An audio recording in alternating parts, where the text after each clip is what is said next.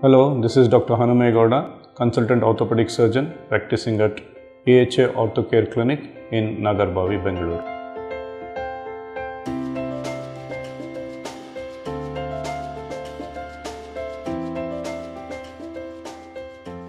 Compression of the nerves at the lumbosacral area can lead to a pain called sciatica, where the nerve called sciatic nerve gets compressed in the lumbosacral area, leading to a pain which goes all the way down to the leg. Sometimes it may stop at the thigh, or it may go all the way down to the foot also.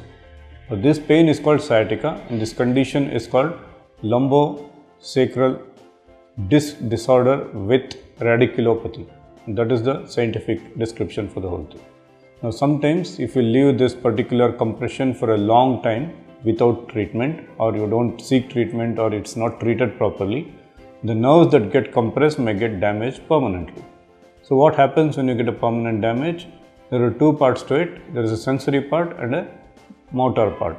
What is sensory? What is motor? Sensory is you feel something when you touch it, or something falls on your foot, you feel it you feel heat, you feel cold, you feel vibration, you feel deep touch. All these things are part of the sensory system.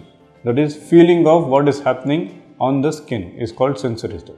What is the motor part? You move your joint, you need muscular strength for that. That muscular strength comes from the nerve endings which innervate the muscles. These nerves are connected to the brain through the spinal cord. So, when there is a permanent damage, you got two parts as I said sensory loss and a motor loss. The sensory loss cannot be compensated in any way and sometimes if the area of sensory loss is very small the surrounding nerve endings will grow into that area and you may get back sensation to an extent but not completely. But the motor loss can be compensated. So how do we compensate?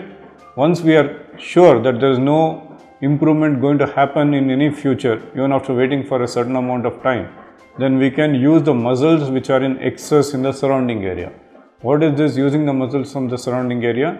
When one area muscles gets weaker, the other area muscles get stronger. So the stronger muscles will can be routed towards the weaker side to compensate for the loss. So this is the only treatment that is available. We call this as tendon transfer or muscle transfers. Other treat treatments include the damaged nerve can be repaired which is very difficult when it happens very close to the spinal cord as in lumbosacral compressions. The one more treatment which has been tried recently is installation of stem cells into the area, very vague or maybe almost not there at all. As of now it is still in an experimental stage, maybe over next few years or decades we may have a treatment for this also.